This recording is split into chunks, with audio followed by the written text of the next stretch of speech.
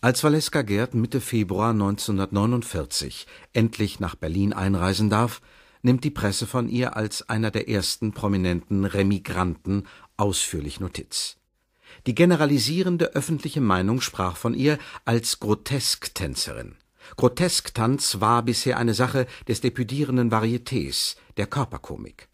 Valeska Gerd aber tanzte gar nicht mit dem Körper, sie tanzte überhaupt nicht, sie war da. Sie war das gebärende Chaos in der ideenlosen Gesellschaft ihres Jahrzehnts. Was sie zeigte, das waren keine Dämönchen, sondern Spiegelbilder von uns allen, aus den Dämmerzuständen des Unterbewusstseins. Man hat damals gesagt, dass in Deutschland überhaupt nur zwei Künstlerinnen existierten, die ihre Zeit restlos deckten. Elisabeth Bergner und Valeska Gerd. Wir meinen heute, die Bergner war ein feiner, dünner Strahl, und die Gerd war ein ganzer Eimer Wasser, der ausgekippt wurde. Es war schwer, nach Berlin zu kommen, denn die Russen blockierten die Stadt und Lebensmittel wurden durch amerikanische Flugzeuge in die Stadt geflogen. Am ersten Tanzabend im Berliner Renaissance-Theater war ich nicht gut, fand ich. Ich hatte zu lange auf keiner richtigen Bühne gestanden, in meiner New Yorker Höhle ein mehr unterirdisches Leben geführt. Da fiel mir das Auftreten in solch steifem Theaterbetrieb schwer. Aber schon am zweiten Abend hatte ich mich eingewöhnt. Ich war drin und ging richtig ran. Was ihr vorschwebte, äußerte sie sogleich nach ihrer Rückkehr. Ich möchte so gerne in Berlin bleiben. Am liebsten ein Lokal aufmachen, wo ich jeden Abend auftreten kann. Mit selbstbemalten Wänden und selbstgebastelten Lampen. So ein sicheres Gehäuse zwischen Trümmern, in dem ich mich endlich wieder geborgen fühle. In der Paulsborner Straße fand ich einen leeren Gemüseladen. Er gefiel mir einigermaßen, die Proportionen gingen gerade noch so. Ich strich die Wände schwarz an, wie in New York, kaufte in Glaserläden Spiegelscherben, bemalte sie mit großen Mündern oder Beinen, schraubte sie an die Wände und nannte das neue Kabarett Hexenküche.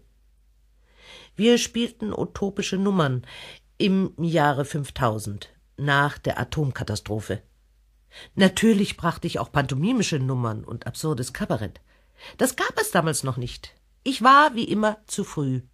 Bald aber gab es erste Schwierigkeiten mit den Behörden, die im Lauf der nächsten Jahre Valeska Gerd die Stadt ihrer Geburt und ihrer Erfolge, nach der sie sich die ganze Zeit ihrer Emigration hindurch gesehnt hatte, derart verleiden werden, dass sie sich künstlerisch Mitte der 50er Jahre gänzlich von Berlin zurückziehen wird. Valeska Gerd wurde nicht als rassisch Verfolgte anerkannt, verklagte daraufhin den Senator für Arbeit und Sozialwesen und verlor den Prozess endgültig in der Berufungsinstanz. Begründung Sie habe Deutschland freiwillig verlassen und nicht als Verfolgte, da sie ja seit 1936 mit einem Engländer verheiratet war und deshalb von den Nationalsozialisten nichts zu befürchten hatte Außer Gerichts- und Anwaltskosten musste ich dem Finanzamt Steuern nachzahlen, die sie erlassen hatten, weil sie mich für ein Opfer hielten. Mich ließ man im eigenen Saft schmoren, ich wurde nicht gepflegt. Eines Tages wurde, ohne dass man mich benachrichtigt hätte, meine Vergnügungssteuer auf das Dreifache erhöht. Ich wurde unter die Striptease-Lokale eingestuft. Ich ging zum Kultursenator. Er bedauerte sehr, aber nichts geschah. Um zehn Uhr morgens ging ein Flugzeug nach Hamburg. Ich bestellte die Mädchen um acht Uhr in die Hexenküche, damit sie sich von dem Krempel nehmen, was sie brauchten. Ich packte ein paar alte Bretter und Spiegelscherben zusammen. An Verkaufen und Verpachten des Lokals dachte ich in der Eile nicht. Es blieb einfach stehen. Sieben Jahre hatte die Hexenküche gelebt. Von Hamburg fuhr ich nach Kampen, wo ich im Jahre 1951 den Ziegenstall eröffnete.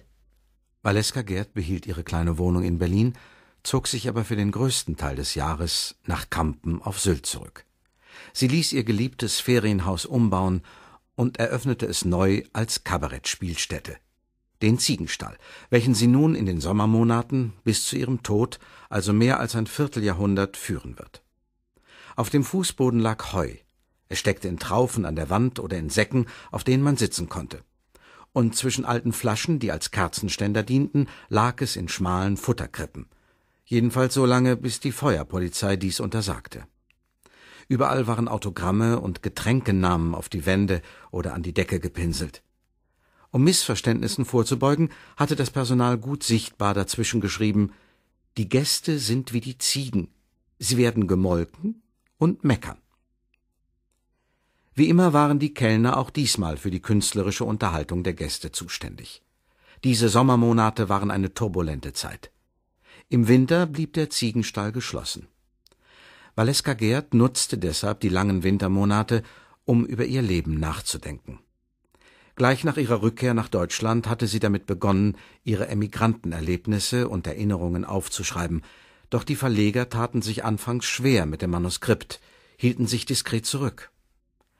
Freunde aus früheren Tagen setzten sich schließlich ein für Valeska. So zum Beispiel Ernst von Salomon in einem Brief. Liebe Valeska, eben habe ich ihr reizendes Manuskript Die Bettlerbar an Rowold mit einem Votum zurückgeschickt. Rowold schickte mir das überaus vergnügliche Werk zur Beurteilung, und ich habe ihm sehr zugeraten, es zu bringen, und ihm gedroht, ich würde mit Ihnen andernfalls in Hamburg eine Bettlerbar aufmachen, so dass der ganze Senat wackelt. Diese Drohung verfehlte offensichtlich ihre Wirkung, denn ein Jahr später erscheint ihr Buch im Selbstverlag, herausgegeben auf Kosten der Verfasserin. Dafür wird Federico Fellini auf die alternde Schauspielerin aufmerksam. Er lädt sie ein nach Rom zu den Vorarbeiten für seinen neuen Film Julia und die Geister. Und ich fuhr ab. Von Hamburg flog ich nach Rom. Am nächsten Morgen um acht war ich im Studio, legte mich auf die Couch und als ich die Augen öffnete, saß Fellini neben mir. Er lachte darüber, wie ich aussah und umarmte mich. Gleich wurden Probeaufnahmen gemacht. Ich wusste, sie waren gut. Fellini bat mich um die Adresse meines Managers. Die konnte ich ihm nicht geben, denn ich hatte keinen. Nachts um elf war ich schon wieder im Ziegenstall. Drei Tage später wurde ich aus Rom angerufen. Fellini hat entschieden. Sie spielen Bishma, das Medium. Die Aufnahmen fangen im August an. Ende Juni kam ein Telefonanruf aus Rom. Am 30. Juni abfahren. Ich flog nach Rom. Fellini war erstaunt, als er mich sah. Vor vier Wochen war ich schlank und rank gewesen, hätte das Medium als Mann spielen können. Nun war ich dick. Das geht schnell bei mir. Am nächsten Tag hatte er sich gefasst und sagte Sie können das Medium als Bauernfrau spielen. Zuletzt spielte ich es dann doch als Mann, als fetten Greis. Am letzten Tag fand er heraus, wie man mit mir Regie führen muss. Ich legte mich auf ein Bett und geriet durch das Licht der Lampen und Fellinis Gegenwart in Trance. Er führte mich, als ich still dalag, durch knappe Worte. Aufstehen, hinlegen. Nichts weiter. Und das war eine Wollust. Ich konnte mich frei entfalten. Und Fellini muss es auch Spaß gemacht haben, denn seine Assistentin lief aufgeregt ins Büro.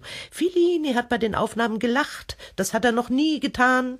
Schon in den zwanziger und frühen dreißiger Jahren war Valeska Gerd in heute zu Klassikern avancierten Stummfilmen wie Die freudlose Gasse, Tagebuch einer Verlorenen oder in dem frühen Tonfilm Die Dreigroschenoper von Georg Wilhelm Pabst zu sehen. Erst drei Jahrzehnte später werden wieder junge deutsche Filmregisseure wie Rainer Werner Fassbinder oder Volker Schlöndorff auf die Schauspielerin aufmerksam. Fassbinders TV-Serie Acht Stunden sind kein Tag und Schlöndorffs Kinofilm Der Fangschuss entstehen mit ihr als Darstellerin. Schlöndorff ist derart von Valeska Gerd fasziniert, dass er gleich im Anschluss noch einen Porträtfilm über sie dreht.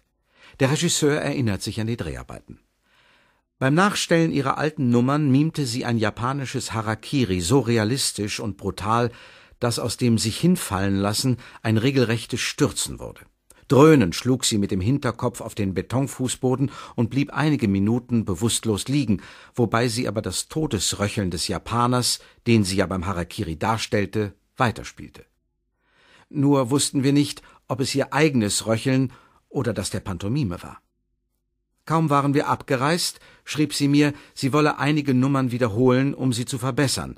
Sie habe ihre Grenzen noch nicht erreicht. Und im gleichen Atemzug beklagte sie sich Kein Aas besucht mich hier, ich liege brach und verfaule bei lebendigem Leib. Oft werde ich gefragt. Bedauern Sie nicht, nach Deutschland zurückgekommen zu sein? Halb und halb. Es wäre klüger gewesen, im Winter in New York Kabarett zu machen. Der Refugee Service quälte mich direkt, ein neues Lokal zu eröffnen. Er wollte es samt Geschäftsführer finanzieren. Im Sommer sollte ich in Deutschland leben. Mein Leben wäre noch bunter geworden. Und in Deutschland hätte man mich mehr geehrt. Der Deutsche hat kein Selbstbewusstsein. Ihm imponiert, was im Ausland Erfolg hat. Und vielleicht hätte man sich sogar an meine Pionierarbeit in den zwanziger Jahren erinnert. Ist es nicht schlimm, unter Menschen zu leben, die Ihnen so viel Leid gebracht haben? Nein. Ich lebte noch lange nach Hitlers Machtergreifung in Deutschland und weiß, wie viele Deutsche der Katastrophe nicht gewachsen waren und selbst litten. Und die Liebe? Kann ich lieben? Ich weiß es nicht. Im Augenblick liebe ich nur Tiere. Haben Sie keine Angst mehr vor dem Tod?